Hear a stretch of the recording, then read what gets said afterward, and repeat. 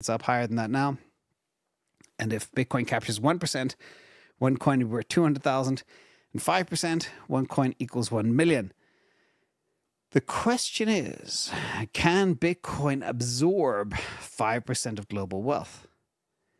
If it can, this is the result. To be in the top 1%, to be one of the $7.4 million, $7.8 million people, you will need 7.4 Bitcoin, assuming Bitcoin hits a million bucks. Now, there's more. So, just to give you an idea, it might sound very far fetched for Bitcoin to hit 1% of global wealth. Put this in perspective, all right? 126 days ago, the Finkster, Larry Fink, just launched a BlackRock Bitcoin ETF called IBIT. Check this out. They have $10.8 trillion in assets under management. They now have $20.9 billion dollars in Bitcoin. Okay, call it $21 billion. BlackRock has been around for a very long time.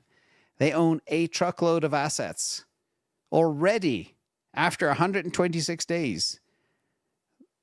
It makes up nearly 2% of BlackRock's assets under management, AUM, 1.93% to be specific.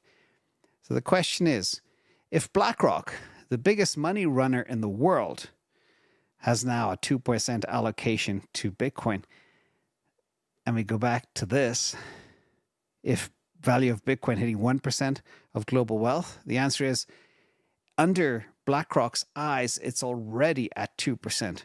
So this $225,766 is very achievable.